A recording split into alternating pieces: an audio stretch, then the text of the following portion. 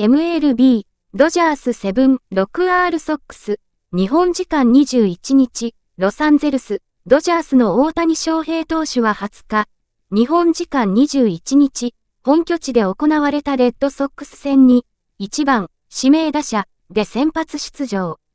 6回に二塁打を放つなど4打数1安打2四球だった。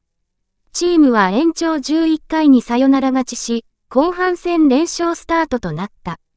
相手先発ベヨと対戦した第1打席では、試合前に球場でミニライブを行ったヒップホップユニットの Creepy Nuts の大ヒット曲、 Bling-Bang-Bang-Born の登場曲で登場。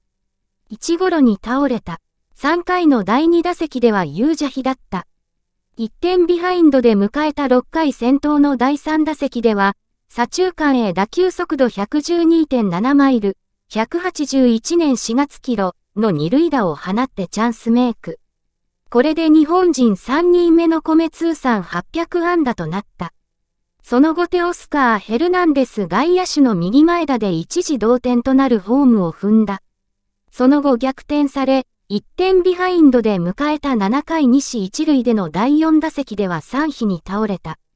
チームは8回に1四満塁と1打逆転の好機を作るも、ミゲル・ロハス内野手がホームゲッツーに倒れて無得点に終わった。しかし、9回先頭のエンリケ・ヘルナンデス内野手がソロを放って同点に。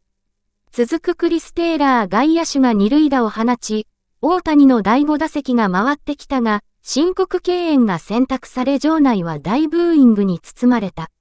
その後スミスとフリーマンが倒れ、さよならとはならなかった。延長10回にはタイラー・オニール外野手に勝ち越しツーランを許すも、アンディ・パヘス外野手とエンリケ・ヘルナンデスの敵自打で同点。11回には1死1三塁で第6打席を迎えたが、またも申告敬遠で勝負を避けられた。その後、ウィル・スミス捕手がサヨナラを放って勝利を収めた。